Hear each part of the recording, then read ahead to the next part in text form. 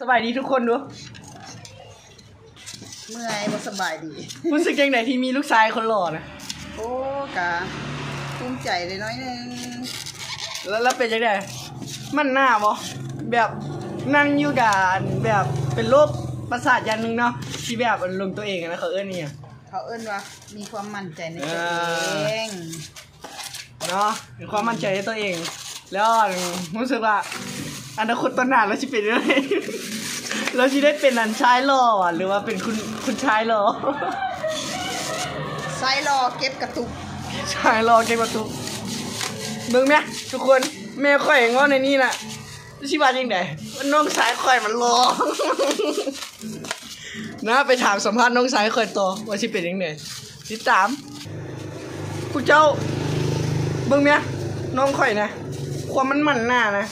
สัมภาษณ์มันก็บ่ให้สัมภาษณ์ไปแล้วมันมันไปละเดี๋ยวเบิ่งไหมมันชิแปลนซ้ายรอมันชิเป็นซ้ายเก็บกระตุกนะเดี๋ยวเบิ่งนะเดี๋ยวมันยืนอย่างนี้นะเบิ่งไหมมันยืนนะ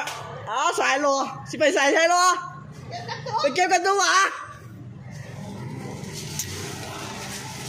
ค่อยนึกสภาพเลยค่อยเชียร์จังไดกับน้องค่อยดีพวกเจ้าซอยอันกดเอ่ออุ้ใจแหงแล้วค่อยก็ว้าวุ่นขนาด มุ้ยเชียร์จังไดน้องชายค่อยมันรอกันนะบ้าวุ่นเลยข่อยอะเห็นอย่างบุเป็นเลยนะกินข้าวกับบุลงอะย้อนมันลงตัวเองค่ะนะกับว่า มันรอมีความมั่นใจสูงบอกว่าเนาะลงตัวเอง ติดตามเลยเด้อจังหน่อย คอมเมนต์มานำว่าข่อยควรเฮ็ดยังไงสบายดี